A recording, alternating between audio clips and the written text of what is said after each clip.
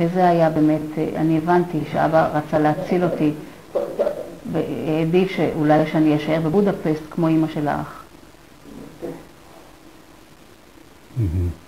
את האבא והאח לקחו לעבודות כפייה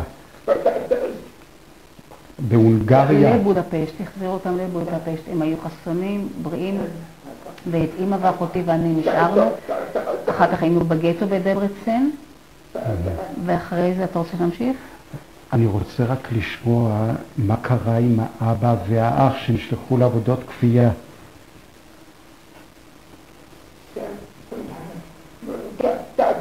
הם היו במקום שנקרא מונטה טאבוי, מחנה עבודה,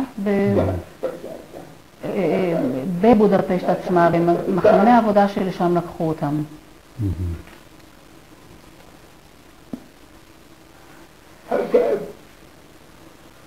אוקיי. אבא כמובן אה, אה, נפטר מכיוון שהוא היה חולה מאוד אה, מאולקוס. שלחו אותו לבית חולים בבודפשט, טיפלו בו והוא עבר ניתוח. מספר כמה ימים הוא נעלם, ואחרי שבא לבקר אותו חיפש, ובמיטה עלייה שכב אדם זקן לא יהודי, שסיפר מה היה. הוא אמר שהיה קצין גרמני במקום, והוא בדק את הגיליונות נייר, ואז הוא נתקל בגיליונות נייר של אבא שהוא יהודי, ואז הוא שאל מדוע מטפלים בכלל באדם יהודי. והרופא אמרו, הרופא אמר שהוא היה חולה וצריך לטפל בו, והוא אמר בשום פנים ואופן לא לבזבז מיטה ליהודים, ואספו את כל היהודים שהיו בבית החולים וירו בהם שם בפארק. זה סיפור ששמעתי עם אח שלי, אני לא ידעתי עליו. מי ירה שם? בבקשה? מי ירה? הגרמנים. הגרמנים. אז הוא כבר מדבר על אחרי אה, מרץ 44.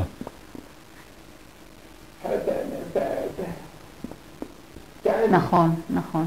כן. זאת הייתה התקופה, נכון, ואז אותנו שלחו במקביל לאוסטריה. אז אולי לפני כן, הגרמנים נכנסו להונגריה ב-19 במרץ 44. מה, מה קרה עם המשפחה אז?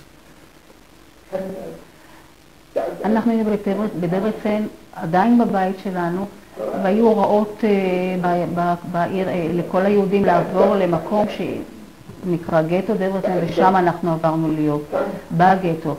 גם אבא ואח היו שם עדיין. יותר מאוחר לקחו את כל הגברים והחסונים למחנה עבודה, אנחנו נשארנו, אחות, אימא ואני, בגטו, בגטו. אז מדובר כבר, גטו נסגר, אני חושב, דרבסן באפריל 44. נכון, כן? בערך, כן. אפריל, כן. אני לא זוכר בדיוק, אבל בערך. אתה יכול לספר מה, מה היה שם בגטו? אנחנו היינו שם כמה ימים, כמה שבועות, אולי כמה חודשים, ומשם העבירו אותנו לתחנת הרכבת אה, אה, לאוסטריה. הוא זוכר את חיי היום-יום בגטו, אם סבלו נניח מרעב, אם היה אוכל מספיק? לא היה רעב, אבל היו, תמיד אה, תורים ארוכים, אה, היו לנו תלושים כדי לקבל את הדברי מזון. אה, גם בכביש היו תמיד, בכביש היו חוס, תמיד חוסמים ממקורות עץ עבות מאוד, ותמיד דרך חריצים הייתי סקרן ומסתכל החוצה מה יש. היו פותחים את השער מדי פעם להביא את המזון. לא היה רעב, ובימים רגילים עוד לא היה סבל ממש. אתה? לפעמים אה, אה, אנשים היו שומעים שמועות דרך חדשות, דרך הרדיו, אבל אני לא ידעתי, גם לא רצו לשתף אותי בתור ילד, כך שהדברים לא הגיעו אליי. אני זוכר אבל שהיו אנשים רכונים על רדיו. הייתה אווירה של מתח בוודאי. אבל אני זוכר, אה, אה, כשהגרמנים הגיעו, היו ביתנים אה, עם חוטים שמחברים, ואז האנטנות היו מנסים להסתיר אותם כדי שהגרמנים לא יגלו אותם שהם mm. מאזינים, או היו עוקבים אחרינו. זו הייתה תחושה שלי ותחושת מתח, שאסור להגיד שום דבר נגד הגרמנים, זה אני זוכר. אבל לא גילויי, לא עינויים מעבר לזה. הגרמנים הסתובבו בתוך שטח הגטו? כן. הם שמרו עליכם שם? כן, הגרמנים אני זוכר אותם טוב מאוד כי היה להם מין אה, אה, אותות או סמלים מברזל על החזה, איזשהו, כנראה לא נאצים אלא שוטרים, אנשי משטרה, המשטרה הגרמנית, היה להם על החזה מין שרשרת ברזל, וזה היה מאוד מאוד בולט. אנשים לא נחמדים. כן. אה, איך יכולתם שם להסתדר עם רחצה בגטו? היו, להם, היו לנו כן אפשרות אה, מים כן. זורמים להתקלח ולהתרחץ, כן. זה לא גטאות שכמו שהיו בפולין, זה גטאות מסוג אחר, כן. כן. וגם לא היינו שם הרבה זמן. ובגטו הייתם אבא, אח, אימא ואחות ואתה, כל המשפחה. אבא ואח היו זמן קצר מאוד שנלקחו למחנה עבודה בבודפשט, אימא ואחותי ואני נשארנו. כן. ואז מה קורה אחרי תקופת הגטו? אז אספו את היהודים, העלו אותנו למכונות מסע או לעגלות וסוסים לתחנת הרכבת. שהיה שם מחנה גדול מאוד, שהיה שם גם מפעל גדול לתירס, שם השכינו אותנו לסדר, למיין את האנשים. בסופו של דבר גם אנחנו עלינו, והרכבת, קרונות, קרונות של בשר, של בקר, סליחה, העלו אותנו שם 40 איש בתוך קרון, שהדלת השאירו אותה עם חריץ קטן פתוח עם חלון אה, חד בצד, אנחנו ישבנו על, ה, על, על, על, על, על קרקע של הקרון, אימא השעינה אותי על הברכיים שלה, וכך קרון קרון, קרון קרון הובלנו לכיוון האוסטריה. זה לקח אולי יממה, יומיים, הרכבת עצרה, נתנו לנו מים, אה, אה, לחם, אפשרו לנו לרדת לעשות את הצרכים, לחזור חזרה עד אה, אוסטריה. אז לערב אחד, לילה אחד, הקרון עצר והוא לא המשיך לנסוע, ולמחרת בבוקר המס...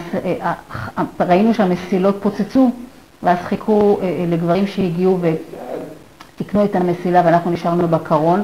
לאחר שהמסילה תוקנה, המשכנו בנתיב לכיוון אוסטריה. ירדנו מהקרונות ביער, לנו שם. זה היה לילה שאני זוכרת שישנו בחוץ עם, עם, עם גשם זלפות שירד, אני הייתי בין אימא ובין אחותי, ואני זוכר ברקים ורעמים וגשם חזק מאוד, ואחר כך הסתבר שזה לא נכון, למחרת בבוקר מאוד נבהלתי, כי ראיתי ערימות אה, אה, אה, של אנשים, וזה לא היה ברקים, אלא בעצם היו יריות mm. שירו באנשים, וראינו ערימות ערימות של גופות אנשים מרומים. אז הקימו אותנו, אני הייתי כמובן בשקט גמור, והמשכנו ללכת, ומשם זה התחיל המראות והזוועות. לפני כן, לפני אותו לילה זה היה איכשהו אנושי, אבל אחר כך הגרמנים היו עצבנים, כועסים, ואמרו שאם מישהו יעז לברוח אז יראו בכל הקבוצה. אז כולם היו בשקט גמור, משמעת, אה, וראינו ככה ערימות של אנשים, גוויות מתות. באחת הערימות ראינו מישהו מתחת, ראיתי שמישהו פתח את העיניים, אבל אימא סתמה לי את הפה, כי אמרה שזה מישהו שניסה לברוח וירו בו. אני ראיתי ואימא הסיטה לי את המבט, אבל מבין האצבעות הסתכלתי והבנתי שהוא רוצה לברוח, והבנתי שזה דבר נוראי. אנשים היו ערומים עם, עם, עם, עם דם שזרם על, על, על הגופות. ואז העליו אותנו לרכבת נוספת, למחנה. שוב מינו אותנו וסידרו גברים לחוד ונשים לחוד, אפשרו להתקלח. יום אחד היה מזל מאוד גדול כי הגיע אה, ראש מועצה בתפקיד כזה והודיע לקצין, החייל, אני צריך 40, 40 אה, אנשים, אה, אה, אני צריך כוח אדם לעבודות חקלאות, כי במקום שלו, בכפר שלו, אנשים יצאו לצבא והוא צריך פה ידיים עובדות. כשלקחו את הקבוצה הזו, הפעילו את החיים שלי, כי אם הייתי שם, mm. היו בודקים את ה... מגיל 15 עד 50 היו לוקחים את. ברי יכולת עבודה, זקנים, נכים, לא רואים, ילדים, פשוט לקחו לגז, ואני לא ידעתי רק לאחר מכן אחותי סיפרה לי. לקחו אותנו לחקלאות ושם אנחנו ניצלנו, וזה היה מאפריל עד נובמבר, מאפריל עד נובמבר, מאפריל עד נובמבר זאת התקופה, זאת הייתה עונה של צמיחה, החיטה שקצרנו, תפוחי אדמה שאספנו וסלק, אה, קנה קנה סוכר של סלק, כך ששם אנחנו לנו בלילות על, על תבן ותבואה, בלילות בתוך הרפתות, וכך נובמבר כבר היה קר, באוסטר היה קר מאוד בתקופה הזו, ואז אמרו שכבר לא צריכים את הכוח הזה, ומה עושים איתם? ואז אמרו לשלוח אותנו לווינה. כשהגענו לווינה... סליחה, אני רוצה רגע לשאול, לפני שאתה מגיע לשלב של וינה, אני הייתי רוצה לשאול, קודם כל, כמה שעות ביום עבדת בעבודות החקלאות? כן. אני לא זוכר כמה זמן עבר. היינו עובדים עד שהיו אומרים לנו שזהו. לפעמים אני זוכר כן, אה, בכפר כשעבדנו בחקלאות, הייתה, היו לעיתים הזעקות של הפצצות. אז היו שם תעלות, אה, זה לא מקלט אלא מין תעלות כאלה בחול, שם היינו יושבים. השומעים היו משוחחים בינם לבין עצמם, אני זוכר שאני ישבתי בלי שום קשר עם הסביבה. אישה אחת שהייתה בינינו הייתה אה, מורה והיא החליטה ללמד אותי אה, כדי שלא יהיה לי משעמם, והיא הייתה מרגיעה אותי. ומרחוק היינו רואים את וינה מופצצת ואני הייתי מסתכל ואני הייתי תמיד חולם אה, שאולי אני אהיה במטוס, אבל כמובן שלא היה קשר. וכך היא ניסתה, אבל אכלנו והחיים היו בסדר מבחינה של הצרכים היומיומיים. וכמה שעות הוא לא יכול לזכור בערך? יום יום, אני לא זוכר שזה לא היה בלילה, אבל זה במשך היום. הייתה להם שמירה תוך כדי עבודה, או שהם היו חופשיים בעבודה? לא, היה רק אה, אה, מישהו שאחראי אלינו, שהוא היה חקלאי באזור, עיקר באזור. אני אומר שוב, באמת, אה, עבדנו, אבל דאגו לנו לאוכל, וגם ישנו mm. בלילה כמו שצריך. כן. ואנשים גם כל הזמן גם עבדו, הייתה להם משמעת, כך שלא היו טאקלים. אני רוצה ברשותך לעבור רגע לעניין הזה של הגופות של האנשים שראית. זה, זה היה בתוך היער שהרגו את האנשים? כן, בתוך היער. אני, אני לא ראיתי איך ירו בהם, אני רק בבוקר אספו את הגוויות ואז הרימו בערימות, ואז אני הבנתי שהם ברחו ואנחנו נשארנו כן. כמובן שכן ירד גשם, אבל הברקים שראינו זה היה... ואנחנו ישנו ביער, וכמובן שאנשים אה, ניסו לברוח. יש לך מושג פחות או יותר כמה אנשים היו שם? פחות או יותר, לא חייב להיות מדויק.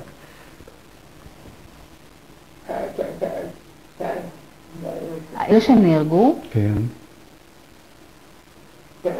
אני רואה אה, ערימות, אה, אולי בערימה 30 עד 50 גוויות. מה שמעניין הוא ש... אני נזכר, נזכרתי בזה לא מזמן, לפני 15 שנה הייתי בנורבגיה בקונגרס אה, של אה, ספורט חרשים ואחר כך הביאו אותנו לאיזושהי אנדרטה והאנדרטה הזו היא זו שהזכירה לי, הצורה שלה, האנדרטה הזכירה לי את המראה אה, הזה של ערימות הגוויות של היהודים. כי ברגע הראשונה שראיתי את זה, זה הזכיר, אותי, הזכיר לי את המראה. מראה, סליחה, גוויות של יהודים עירומים בערימה. כן.